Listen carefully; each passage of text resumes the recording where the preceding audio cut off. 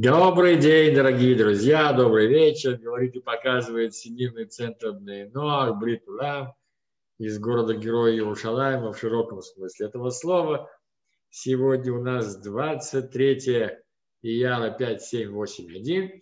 Мы продолжаем обсуждать э, Рамбама, что он говорит по поводу... Я вижу тут двух, двух себя, это забавно. Э, по поводу идолопоклонства. И в прошлый раз мы говорили с вами о принципиальном его определении и, естественно, об истории. Да? Рамбам рассказал нам очень важную, интересную историю, откуда все это взялось и как это произошло. А сегодня он уже больше переходит к самой уже конкретике, то есть что именно считается идолопоклонством, что именно запрещено, сколько, как, каким образом.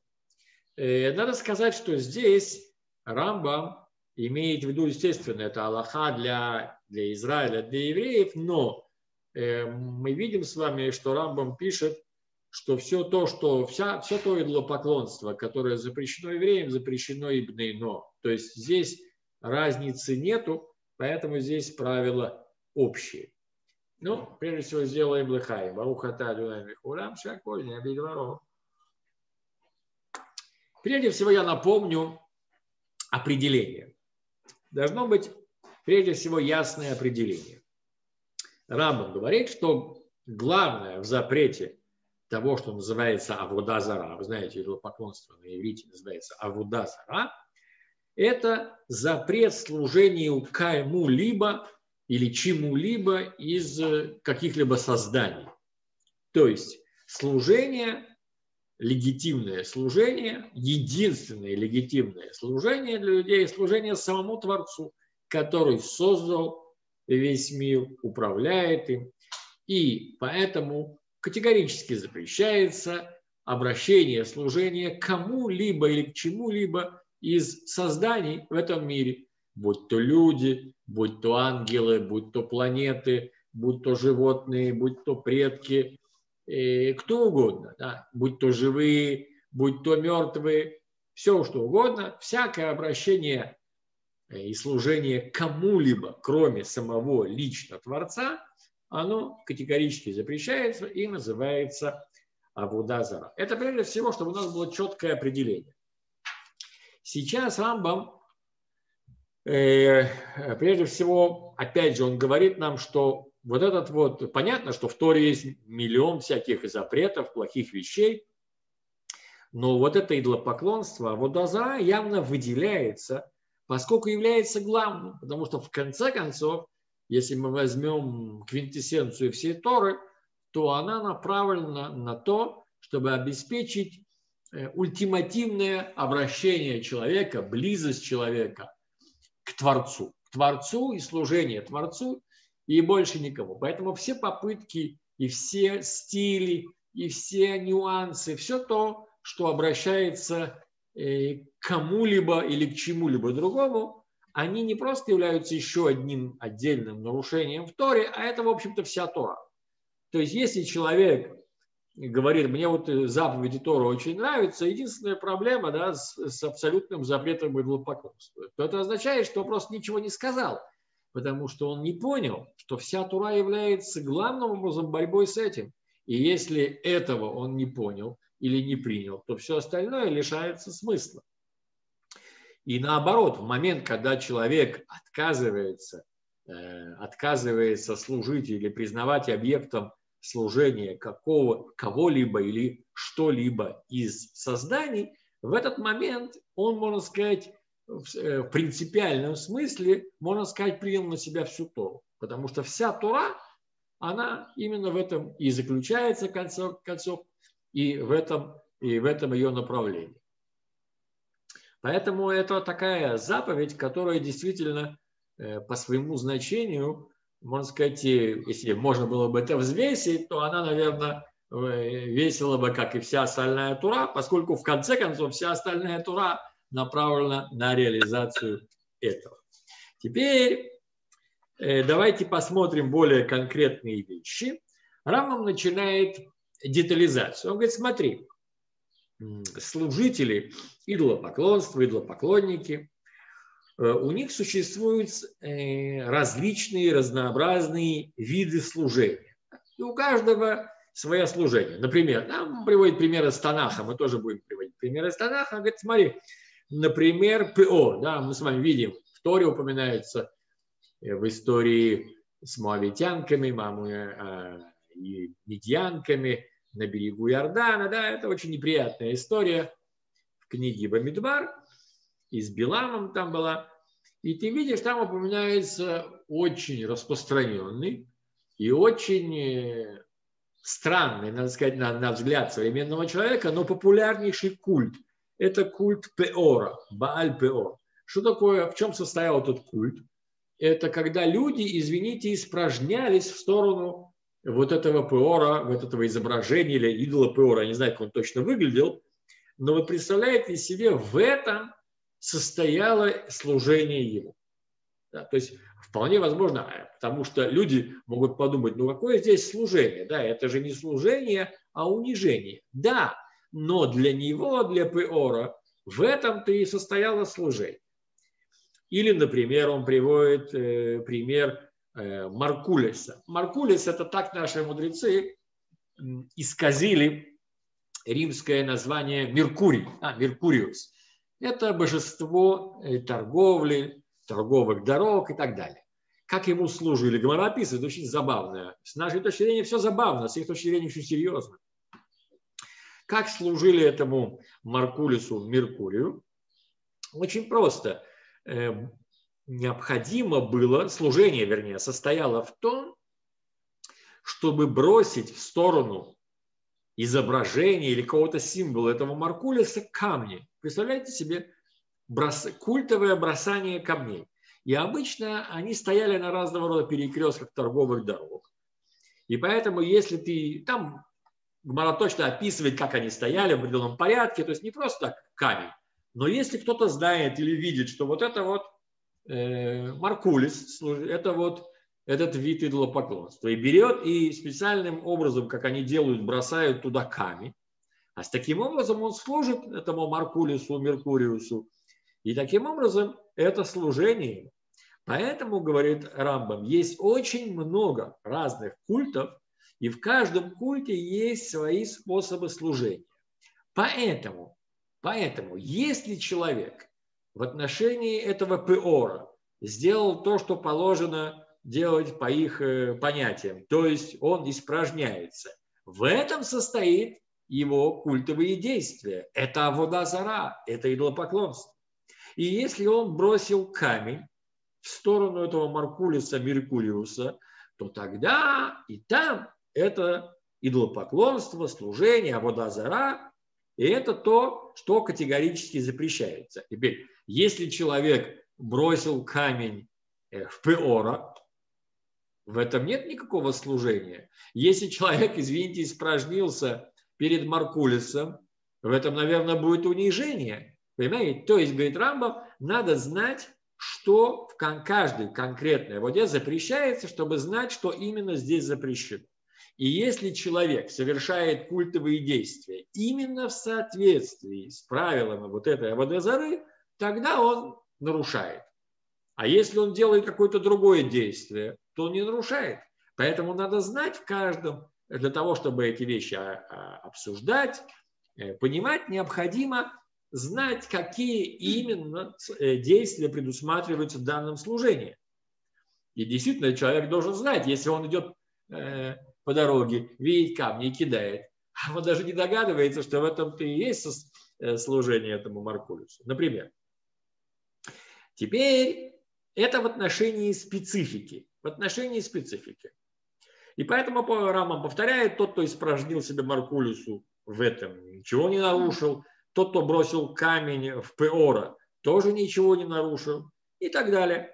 То есть каждый раз необходимо смотреть, какой, какой именно путь служения культа есть. И если человек сделал так, как положено, по их понятиям, тогда он совершил вот это нарушение. Но, говорит Рамбам, ты не думай, что запрет характерен, запрет распространяется только на то, что является специ, спецификой данного культа. Нет перед Рамбом. Есть, э, есть вещи, которые запрещены в любом культе. И какие это вещи, он их перечисляет. Это распластание, распластывание, зарезание, то есть зарезание жертв животных, воскурение и возлияние. И здесь нужно разъяснить, о чем идет речь. А, то, что на иврите называется миштахаве, иштахавая. Что такое иштахавая? Это, почему, вернее, я сразу даю, вам определение. А на чем здесь Рамбам основывается? Какое правило? Понятно, он не сам его выдумал. Э, в Талмуде он разъясняется. Четыре вида, четыре вида служения этих, они являются основой служения Всевышнему в храме, в Бейт-Мигдаше. Там мы распластываемся, там мы зарезаем жертвы, там мы воскуриваем, и там мы возли, возливаем, возлияем, не знаю, как правильно. То есть эти четыре вида действий являются э, фундаментальными основами, фундаментальными основами служения, э, культового служения. И здесь уже специфика того или иного культа не важна. Поэтому, если человек даже не сделал то, что полагается по специфике э, той, того или иного культа, но он сделал одно из этих действий, распластался, при, э, зарезал животных, воскурил воскурение какое-либо и возлил какой-либо напиток, да, обычно это делается вино или даже вода, между прочим, на жертвенники вода разливается, но обычно это вино, то тогда он нарушил запрет идолопоклонства, даже если эти вещи не являются характерной особенностью именно данного культа, поскольку они являются основными, главными э, элементами любого служения. Мы увидим чуть дальше, он это разъяснит. Поэтому э, привожу опять же пример с нашими примерами. Допустим, человек не бросил камень в этого Маркулиса, но принес ему жертву или воскурил какое-то воскурение, или вылил ему вино, или распластался перед ним. В любом случае он нарушил, хотя, собственно, характерной особенностью служения Маркулису эти вещи не являются, но они являются универсальными основами любого культа, любого служения. Это нечто основное. И, например, он приводит э, посук из книги Шмот «Зовех лелогим ехурам бильти ашем ливадо». То есть зарезающий жертвы для Элохим, то есть для разных сил, он будет э, Ехурам. Слово Ехурам означает э, уничтожен, кроме как для одного Ашем. То есть мы служим только единому Творцу, имя которого Юд Хей Вав Хей, Юд Хей Вав Хей, и только ему мы служим. И если человек приносит такого рода жертвы кому-либо или чему-нибудь другому, это является грубейшим нарушением запрета идолопоклонства. Или, например, в книге Шмот написано «не распластывайся перед чужим Эль, перед чужим Богом». То есть мы видим, что эти вещи постоянно упоминаются не просто в контексте, что вот именно это э, распластывание запрещено, или зарезание, а это как бы собирательный образ всякого служения. Потому что вещь это универсальная и распространенная. Поэтому еще раз хочу сказать, кроме того, кроме той специфики, которая есть у, каждой, у каждого этого идолопоклонского культа, э, запрещены еще и вот эти общие, общие основные, э, фундаментальные э, способы служения. Я еще раз повторю, распластывание, э, включая, кстати, не просто распластывание, которое было в Бетмигдаше, это когда человек распластывается вот по полу, но здесь э, включается и поклонение, то есть когда человек кланяется, знаете, э, сгибается перед каким-либо культом, мы все это с вами еще увидим.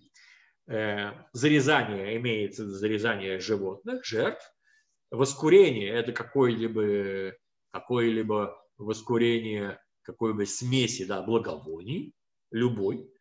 И возлияние – это какие-либо напитки. Повторяю, это в храме это даже была вода, но обычно в идолопоклонских культах э, воду не, не возливают, не возливают, обычно для этой цели используется вино. Вот эти вещи являются основными, основными способами служения, и поэтому они запрещены в любом культе, несмотря на его отдельную специфику.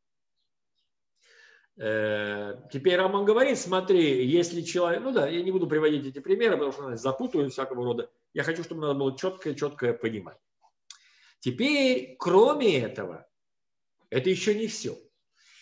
Э, дело в том, что само принятие какого-либо творения, какого-либо объекта, кого-либо или чего-либо в качестве божества, которому человек служит, само это уже является категорическим нарушением запрета идолопоклонства. Пишет Рамбам, принимающий на себя один из видов идолопоклонства в качестве божества, то есть неважно, будь то Маркулис, будь то Папа Карло, кто угодно, он уже нарушает этот запрет.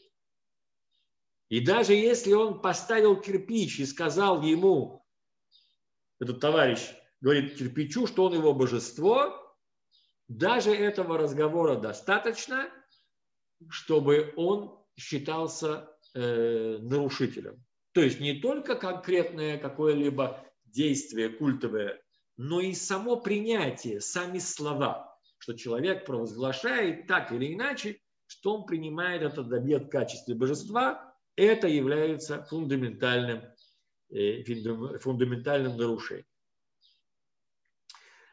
Э, с другой стороны, если человек, э, да, это мы уже говорили, не буду приводить эти примеры.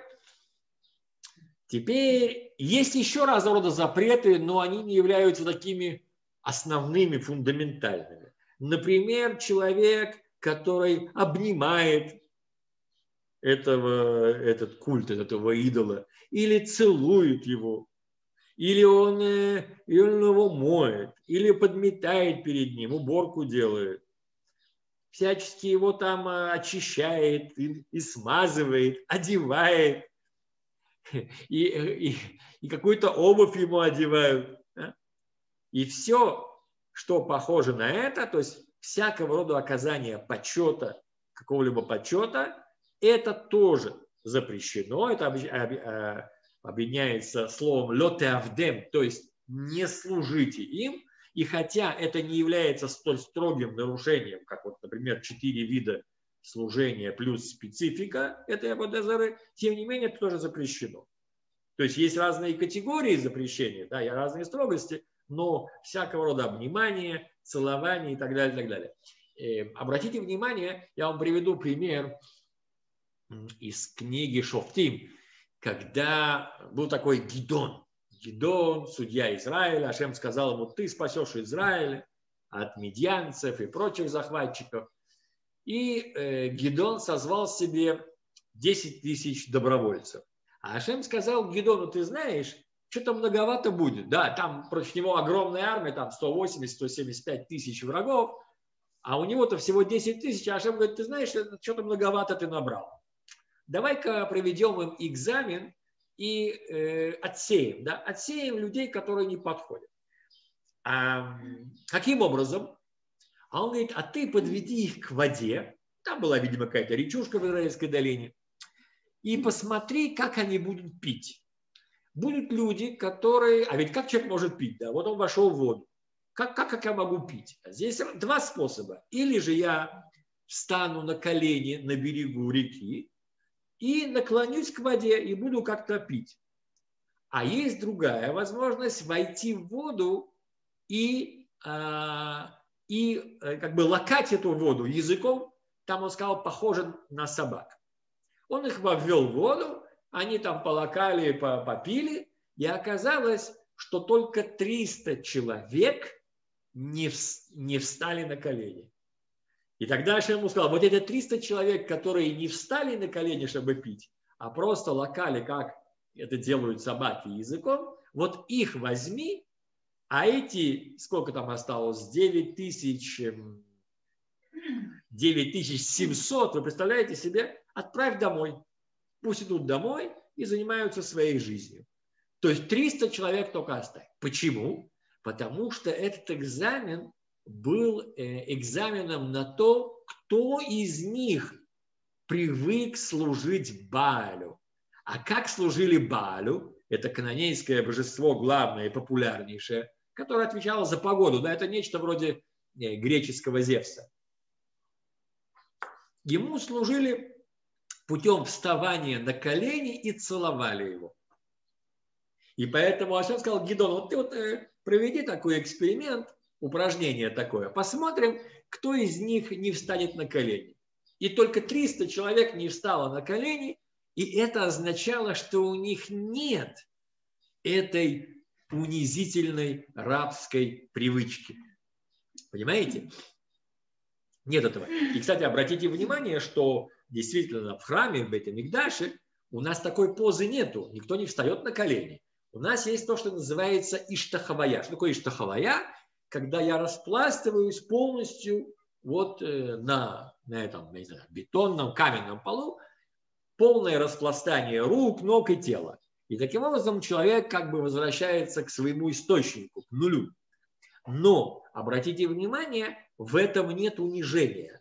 А поза, когда человек стоит на колени, это поза унизительная. Причем интересно, а вы спросите, а как же можно распластаться так, чтобы, чтобы не встать на колени перед этим? А интересно, что это, это тоже интересная вещь.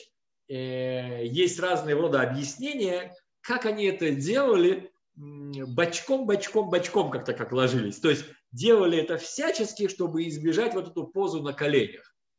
Когда человек стоит на коленях и целует вот этого, вот, вот этого идола, это и есть та самая поза, которая была у них от Баля, и она, естественно, э, была абсолютно не годилась для людей, которые, которые вышли на освобождение, э, вот из, э, на освобождение от этих иностранных захватчиков.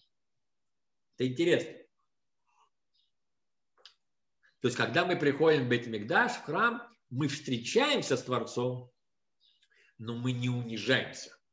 Потому что встреча с Творцом она наоборот наполняет человека значением, смыслом и свободой. Теперь давайте посмотрим, что здесь э, происходит у нас дальше. Э, например, Прям здесь приводит интересные, любопытные примеры. Вот, он взял тоже из Талмуда. Он говорит, смотри, вот человек а вы знаете, что Гмара, она описывает эм, реальность, реальность, в которой жили наши мудрецы, реальность второго храма или после второго храма. Это реальность такая э, римско-греческая, эллинистическая. Да? Например, на каждом шагу стоят всякие рода статуи, всяких божеств, э, или, например, баня, да, ты идешь в баню общественную римскую, а там посередине стоит и какая-нибудь очередная богиня и так далее. Э, поэтому возникают многие проблемы, пользоваться, не пользоваться и как. Например, он говорит, человек идет по городу, и перед ним вот это вот очередное изображение, очередная статуя там Авадезеры. А у него как раз заноза в ноге, да, какая-то вот колючка его, оп, лезет. Теперь, для того, чтобы э, колючку эту вынуть из ноги, нужно склониться, да? И здесь Рамбан пишет, в таком случае ты не склоняйся вниз к ноге своей, потому что это будет выглядеть, как будто ты преклоняешься перед Абудазарой. Или же, например, у тебя раз и выпал кошелек, и все деньги рассыпались по полу, по улице. А здесь как раз статуя Абудазары, какой-нибудь там, я не знаю, Аполлон да, стоит. Что делать? Что делать? А, говорит, для того, чтобы вынуть вот эту вот занозу, ты, говорит, сядь на землю и вынимай ее. Также и монеты. Э, а с монетами, сейчас я посмотрю, что он предлагает. Э, да, прежде всего садишься, да, человек садится на землю и собирает монеты или вынимает этот, этот, этот, эм, эту занозу, да, эту колючку. То есть он не делает того, о чем люди могли бы подумать, потому что важно не только то, что я делаю сознательно, но и то, что люди могут подумать. А люди могут подумать, что этот человек преклоняется перед этим идолом, а он только колючку хочет вынуть, или у него там деньги рассыпались. Поэтому он говорит, садись и собирай деньги, садись, вынимай колючку, так, чтобы не было никаких э, недоразумений. недоразумений. Кстати, есть еще одна вещь, я не знаю, э, может быть, в Европе где-то это встречается.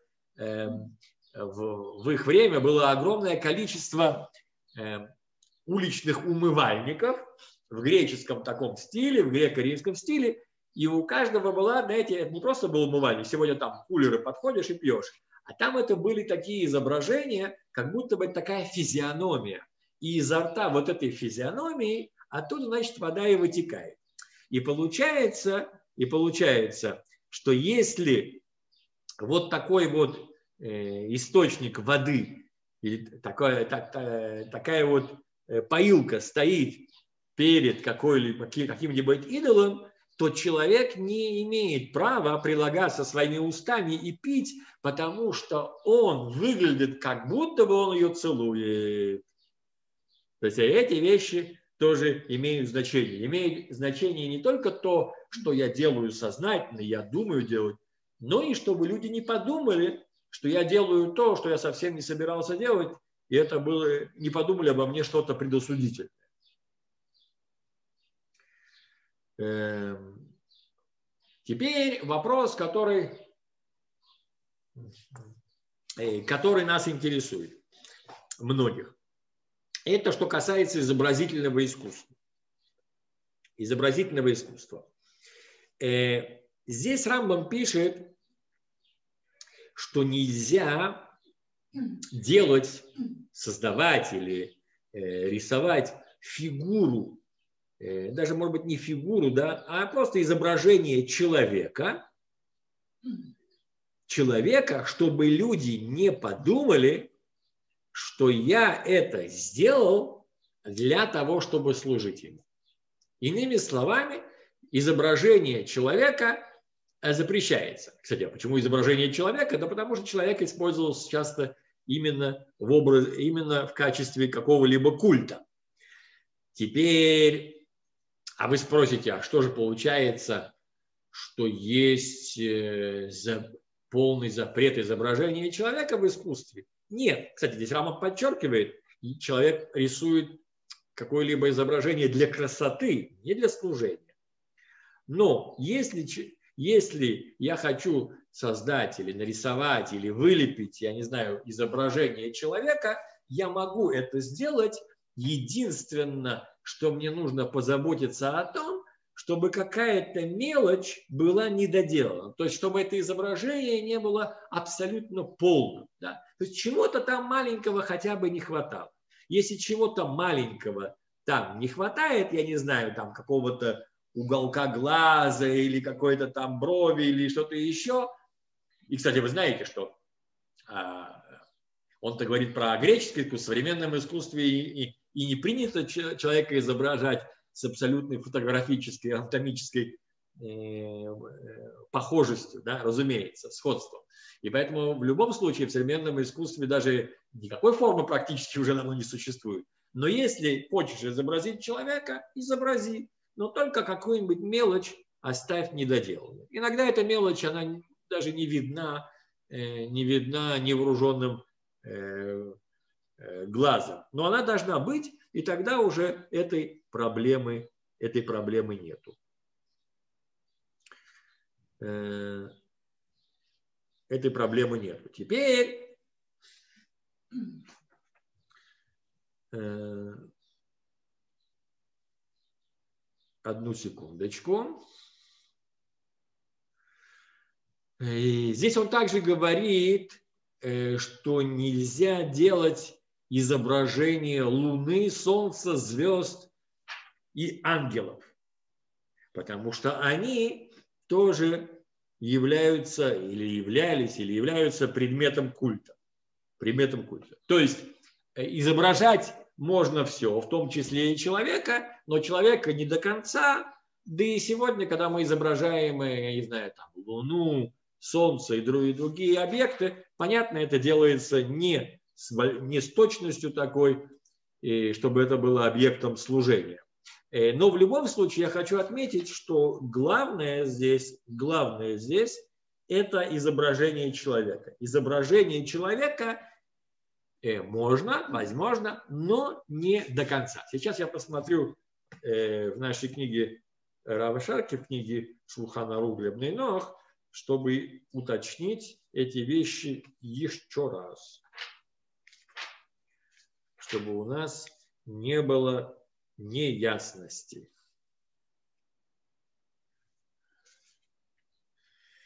Я хочу добавить некоторые вещи, которые Авшарки здесь пишет, уже э, конкретно, которые относятся к Нейноах. Он, он пишет здесь, что не только и существует запрет служить кому-либо, кроме самого Творца, но и задействовать в, в служении Творцу кого-либо еще, то есть какое-то еще создание. Это тоже полностью запрещено, и под этот запрет и попадает, например, христианство, которое говорит, мы служим э, Творцу и еще кому-то. Вот эта вещь тоже полностью запрещена. То есть мы служим не только, э, э, не только Творцу, но и не только только Творцу, но и никому, никому, никому, кроме Него. Ни с какими другими участиями. Ни с какими другими участиями. И всякая водозара, всякое идолопоклонство, за которое Бедин наказывает э, евреев, то же самое, это касается Ибн здесь нету разницы. Здесь нету разницы. И в, в, в, в категорию этого запрета попадает запрет служения человеку всеми перечисленными способами, даже если э, люди думают, что он, что он не является одним из созданий, а сам Творец. Ну, понятно, что здесь Раф явно намекает на христианскую веру. еще раз я хочу посмотреть, какие вещи э, запрещены. Да, вот видите, э, поклонение, распластывание, э, зарезание животных, а сжигание жертвы или воскурение и подобные вещи, и возлияние, возлияние напитков. Понятно, и что здесь, еще раз подчеркивает, ну это буквально от слова Рамбама, что само принятие кого-либо или чего-либо, кроме самого, кроме единого Творца в качестве божества, является уже категорическим нарушением запрета идолопоклонства. И еще раз напоминаю, надеюсь, что я вас не запутал, что э, в отношении служения, какие виды там есть, кроме вот этих базисных видов, которые мы перечислили, то есть поклонение, э, воскурение, жертвоприношение, возлияние, есть также специфические вещи, которые характерны для того или иного культа. Да? Опять же, приведу пример этот неприятно пахнущий пеор. Вот там такая вот э, туалетная работа. Потому что в другом месте такого никто и, такое никто и не посчитает служением, наоборот, унижением. Но вот у пеора это считается его такая настоящая работа, служение. У Маркулиса вот эти камни, поэтому здесь надо точно понимать, кто и что и как делает. Так, четыре главных вида принятия в качестве божества и вот эти специфические вещи, которые касаются такой специ... специ... такого специфического идолопоклонства. Я вижу, что здесь Равшарки привел еще одну вещь, о которой мы с вами не говорили, Рамбам ее не упоминает, что э, запрещено также, запрещено также запрещена также специальная форма стрижки, которая принята у идолопоклонников, если она есть. Да? В древности были такие, такого рода стрижки. И также запрещено любое нанесение ущерба человеческому телу, как, например, э, татуировка. Или человек специально делает лысину на своей голове, или специально делает царапину, да, человек себя там мечом царапает в, в, знак, в знак э, скорби. Да? В знак скорби. Э, вот здесь Раф пишет тоже, э, что запрещено изображение или даже да, изваяние человека в полной форме для красоты. И э, если, если, если в полной форме для красоты, то есть если немножечко неполная, то в этом нет проблемы, в любом месте, это вопрос, который может возникнуть, в любом случае нет запрета заходить в те места, где вот эти вот э, изваяния э, бывших идолов выставлены для красоты. Понятно, что Раф имеет в виду всякого рода музей. Да. Ты приходишь, там Аполлон стоит, там этот. Э, нет в этом запрета, потому что эти вещи сделаны э, ради искусства. Если человек приходит в музей какой-нибудь там античный, то в этом нет проблемы. Он э, может ходить, смотреть и любоваться. Этим в качестве предмета искусства разумеется. Разумеется. И я думаю, что здесь это все, что я хотел сказать сегодня. И, как всегда, ваши вопросы. Пожалуйста.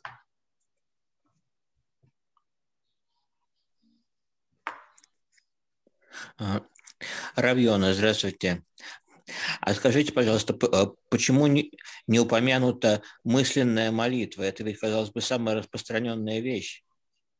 Молитва. Э, смотрите, эм, молитва здесь не упомянута, это совершенно верно. Я думаю, что молитва здесь тоже входит. Вы правы, поскольку она является видом служения. Видом служения. И в какой-то степени она равнозначна жертвоприношению. Вы правы, вы правы, разумеется. разумеется. А, более того, смотрите, что такое молитва? Молитва – это обращение к божеству с просьбой такой-то. А ведь Рамбам сказал нам, что уже само принятие, то есть если человек говорит я этому Маркулюсу, что он его божество, он принимает его и так далее, в этом уже стоит за запрет. А молитва это уже после того, как он признал его божество. Угу, спасибо. Пожалуйста.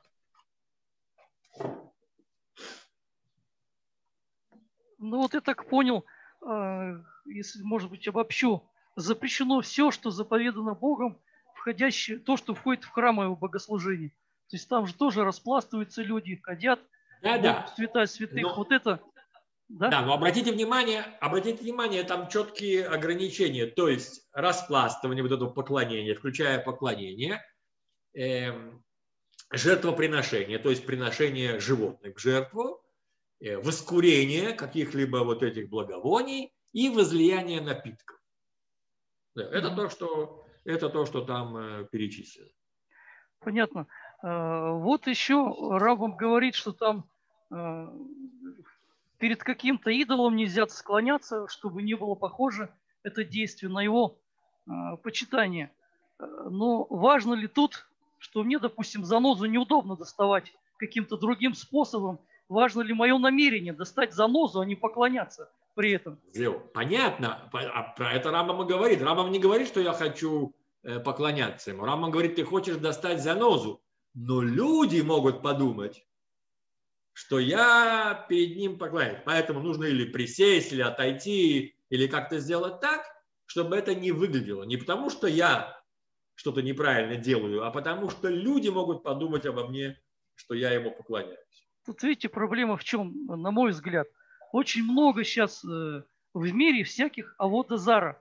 И все практически невозможно э, изучить, все эти действия поклонения, а неважно, неизвестно, куда ты попадешь и э, кто что подумает по этому поводу. Например, если я иду мимо православного храма, да, кто-то может подумать обо мне, а вот христианин прошел и не знает, как нужно пройти мимо него. То есть обо мне подумали уже как о христианине. Смотрите, понятно, что нет этому границы. Не, мы да. говорим про, про то, что если человек просто проходит мимо какой-либо церкви места культа, и, и это улица, которая просто в середине города, и люди идут туда и сюда, никто не подумает, что он специфически идет туда. Если здесь действительно некуда больше идти, и вот это место, куда только и может идти человек, тогда действительно.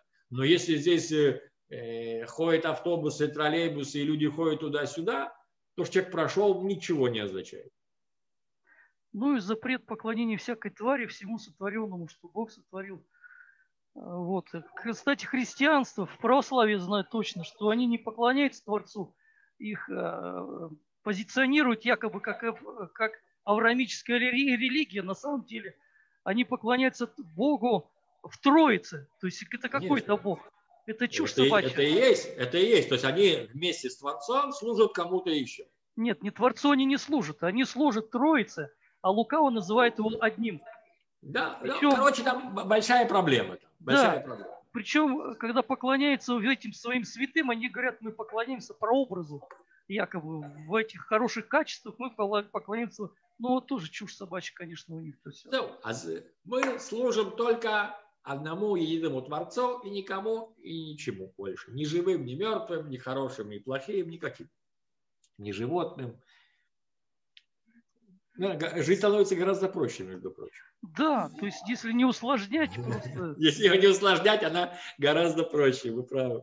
Ну, я к тому, что, может быть, тут э, вспомнить, что э, Бог там сказал э, в Торе, что заповедь, которую он дал, она недалеко, она близко, при да. сердце, сердце твоем. То есть, э, когда Совершенно. начинают говорить, допустим, с христианами диалог идет, э, вот у меня было такое, а ты не понимаешь, вот часто говорят, особенно когда ты в этом, во всем ихнем, ты христианин, как бы, вот они, ты не понимаешь, тебе это еще не дано и так далее. Они начинают заморачивать тебе голову вот всякими этими штуками.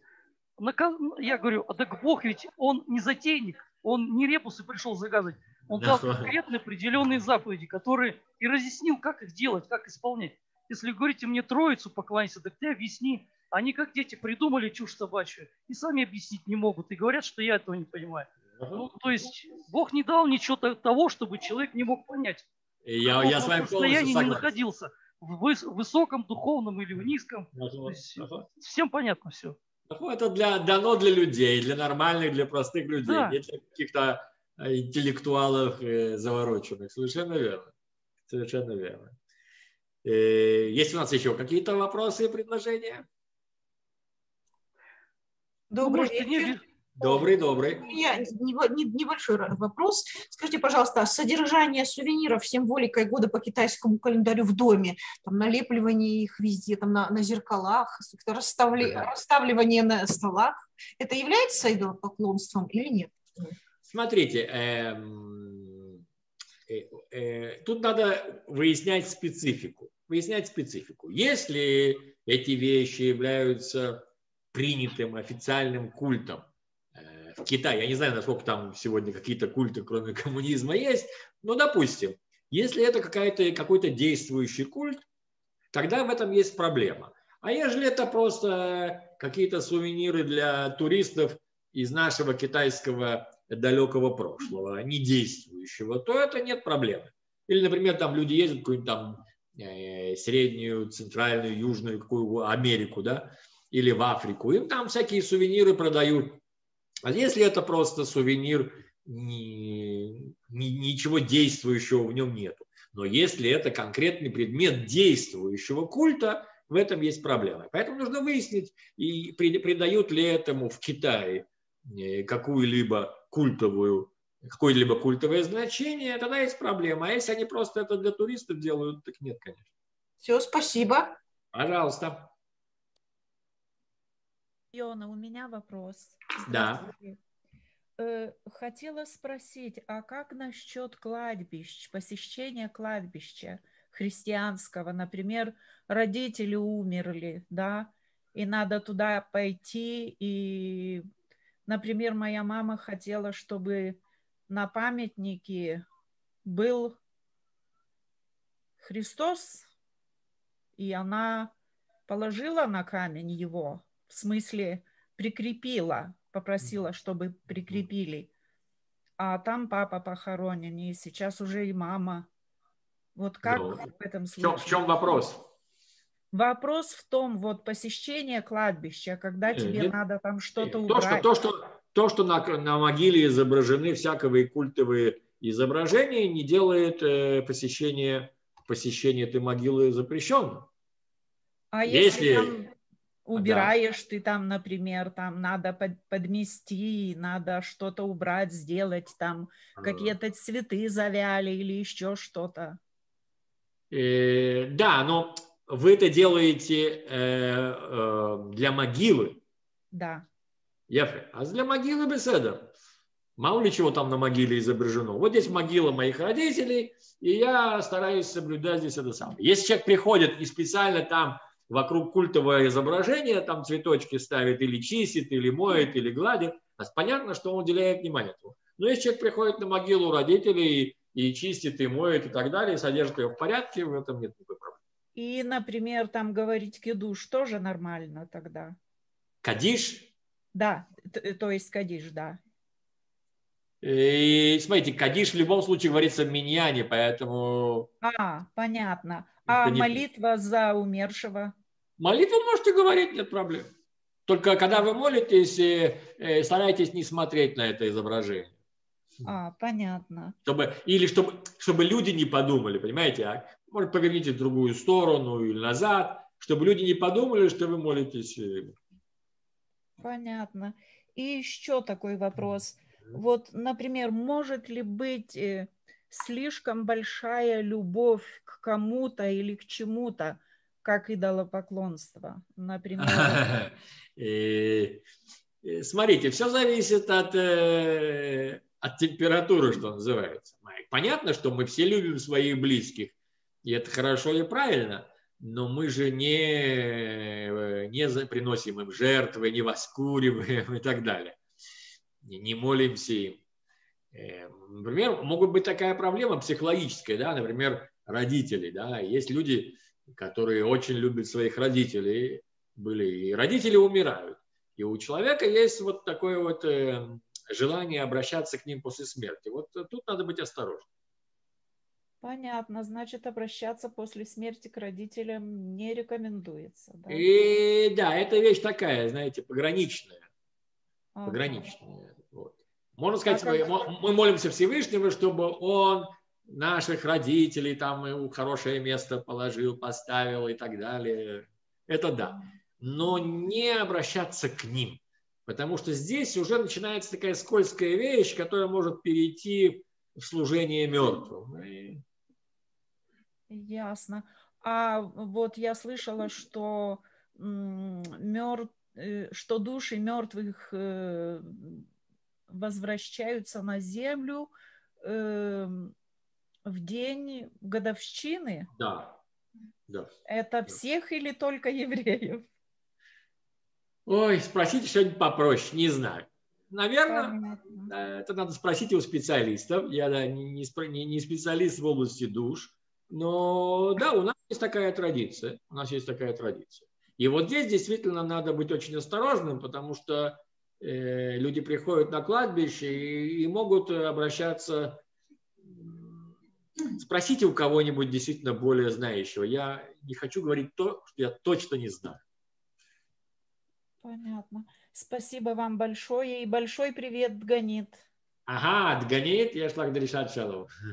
Нет, Дганит здесь, и она счастлива. Дышат шалом, Мусриблах. Большой привет, Ганит. И мне говорит, туда раба. Спасибо, спасибо, спасибо за... Окей, есть у нас еще вопросы? Или Ганит, Агиделяй Маша. Да. Есть у нас еще какие-то вопросы? Есть вопрос. Добрый вечер. Да.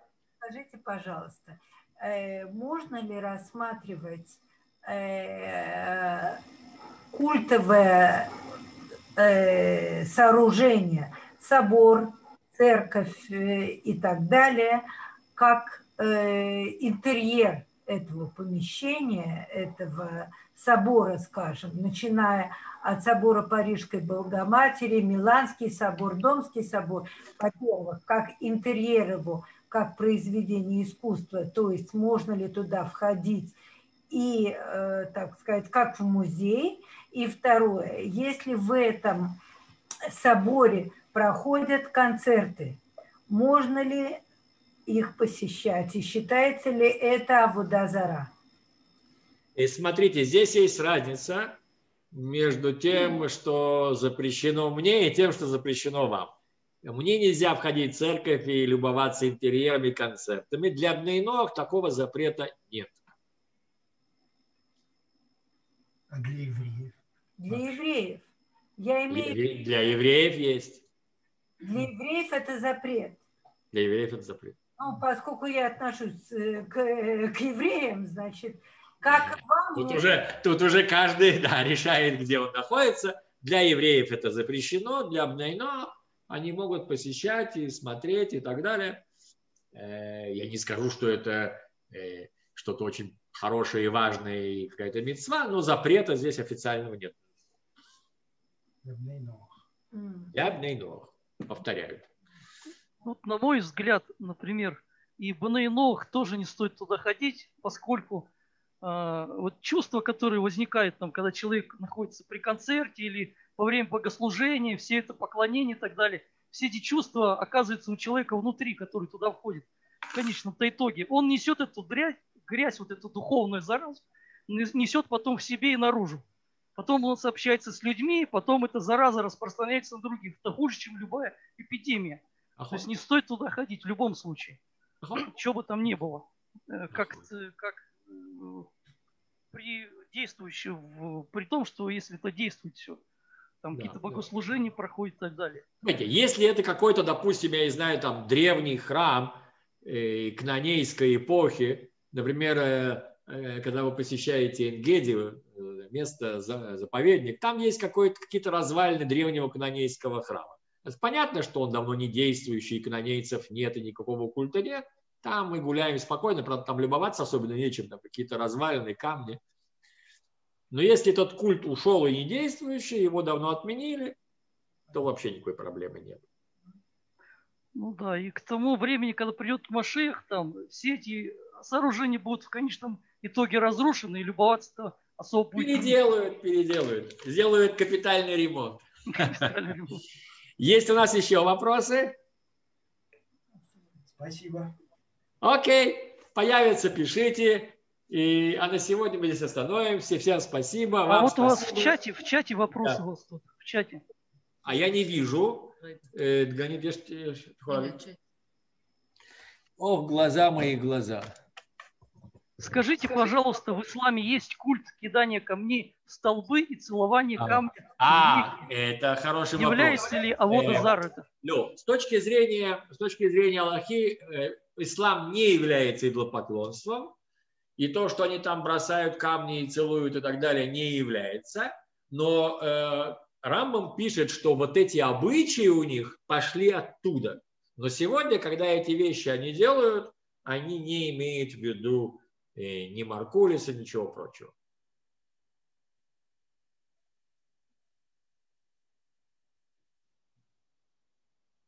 Окей. Окей, тогда остановимся на сегодня здесь. Всего хорошего и до свидания. Всего доброго. Спасибо. Всего хорошего, спасибо.